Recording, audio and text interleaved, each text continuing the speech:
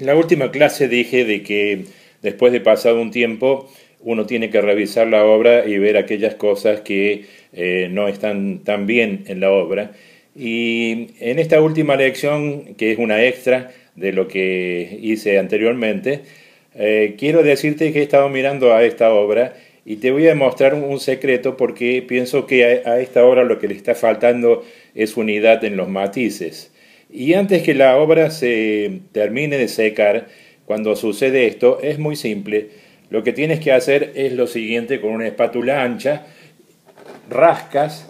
todos los, eh, los matices, los temas que, que, has realizado, todos los colores que has realizado con bastante empaste, y em, empiezas a darle unidad a todo lo que es, en este caso, el follaje. El efecto visual que se produce ahora en, el suelo es que se unen los distintos matices que están juxtapuestos, porque precisamente recuerdas que el impresionismo es juxtaposición, y de esa manera le estás dando unidad